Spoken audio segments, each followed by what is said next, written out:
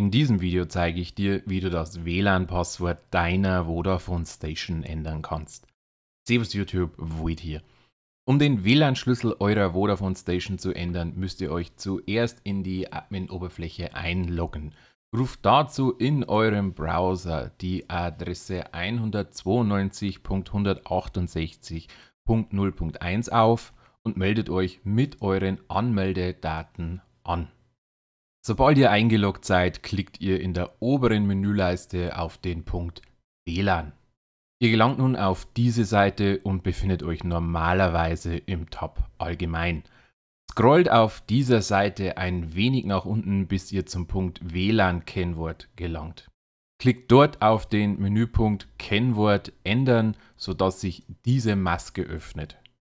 Gebt nun euer neues WLAN-Passwort in der ersten sowie zweiten Zeile ein. Das Kennwort wird dir im Klartext angezeigt.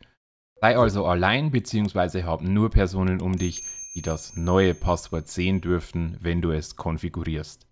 Beachte dabei auch, dass das Kennwort folgende Anforderungen erfüllen muss. Es muss mindestens 8 Zeichen umfassen, es müssen Groß- und Kleinbuchstaben sowie Ziffern enthalten sein. Eine kleine Animation bei Kennwortstärke zeigt dir, ob dein Passwort ausreichend gut ist. Du solltest versuchen, hier ein starkes Ergebnis zu erzielen.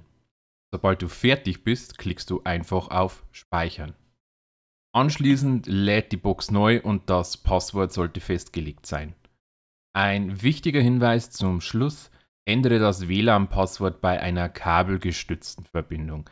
Falls nämlich etwas schief geht, kannst du immer noch auf die Oberfläche der Station zugreifen und es notfalls zurücksetzen.